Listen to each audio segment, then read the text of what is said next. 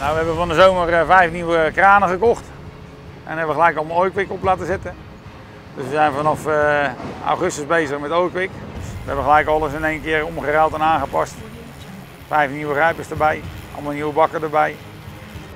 En dat bevalt heel goed. Want ik zie nu al uh, rendement op het werk. Dat de juiste spullen op de juiste plek gebruikt worden. En dat je soms de machines kan besparen. En dat je meer tools om je heen hebt leggen.